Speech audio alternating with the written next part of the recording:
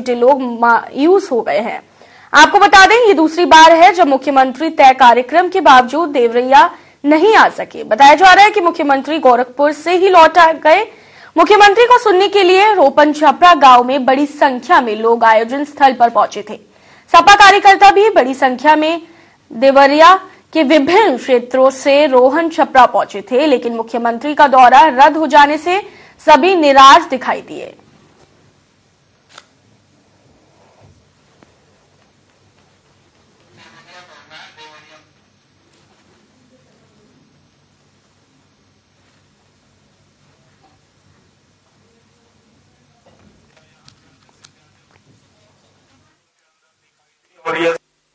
कि मैं बार बार बधाई राष्ट्रीय अध्यक्ष जी को, आदरणीय मुख्यमंत्री जी को, भाई शिवपाल जी को, प्रोफेसर साहब को देता हूँ।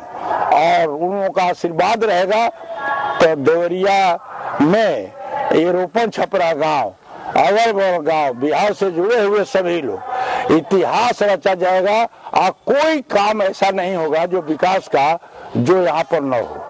उत्तराखंड में कांग्रेस आईटी विभाग द्वारा विजय विष्ट को रायपुर विधानसभा का अध्यक्ष मनोनीत किया गया। राज्य दर्जा प्राप्त राज्य मंत्री राजविंदर शाह ने विजय विष्ट को संतुष्टि का पत्र भी सौंपा। इसके लिए उन्हें बधाई भी दी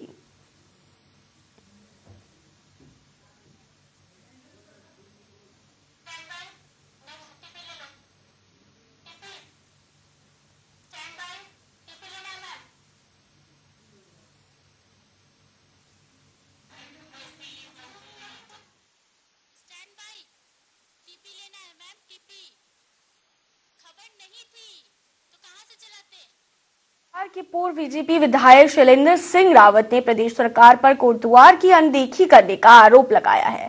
शैलेंद्र सिंह ने कहा कि कांग्रेस सरकार के कार्यकाल में विकास के सभी काम ठप पड़ गए हैं। साथ ही उन्होंने प्रदेश की कानून व्यवस्था पर सवाल खड़े करते हुए कहा कि प्रदेश में हो रहे इस तरीके के सभी अवैध काम पुलिस प्रशासन की मिली भगत से हो रहे हैं।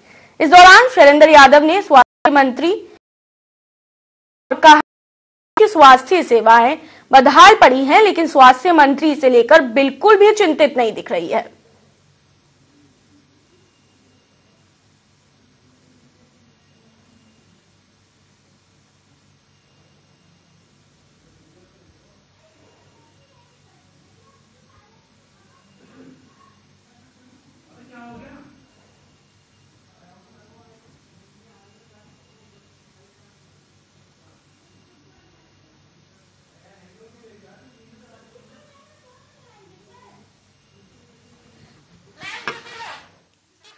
तो वहीं देवभूमि लोक सांस्कृतिक विरासत समिति ने दावा किया है कि अर्थकुंभ में प्रदेश भर के विभिन्न जनपदों से आई देवी देवताओं की डोलियाँ हर की पौड़ी पर 22 अप्रैल को स्नान करेगी।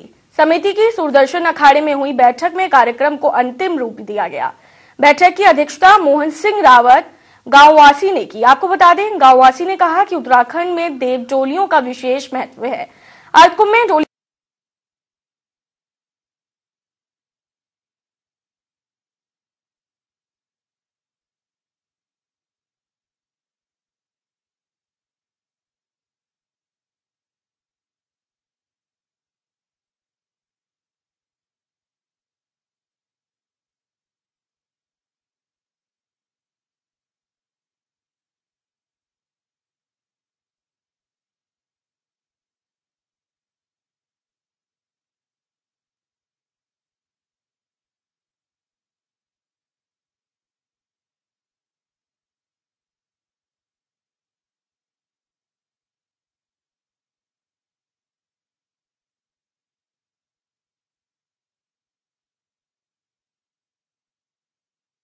मौके पर पहुँचे अर्धसैनिक बल और बम निरोध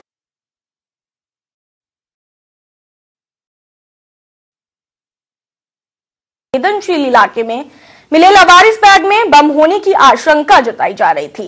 लवारिस बैग मिलने के बाद से ही शहर में चेकिंग जारी है।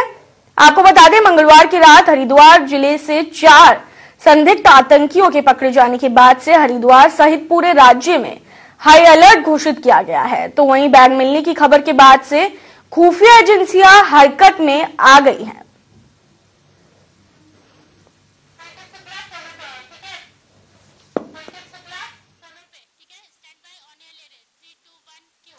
तो हमारे सहयोगी पुलकेश शुक्ला हमारे साथ जुड़ेंगे जो इनसे जानेंगे कि आखिर ये पूरा मामला है क्या। जी। जी पुलकित आखिर ये पूरा मामला है क्या? काजल जी आज सुबह एक अ, बैग मिलने की सूचना जब मेला पुलिस को लगी तो सारा पुलिस बल वहाँ पर जाकर पहुँच गया। वहाँ जाकर पता चलता है कि वो कोई बम नहीं है एक बैग है जिससे इसे अर्धकुम पुलिस और हरिद्वार जिला पुलिस की सतर्कता ही कही जाएगी कि एक सूचना पर वो सारा पुलिस बल वहाँ तैनात हो गया और उन्होंने उसकी जाँच पड़ताल करके ही वहाँ से सारी व्यवस्था को सुचारू किया। जी बहुत बहुत शुक्रिया आपका तमाम जानकारी के लिए पुलकित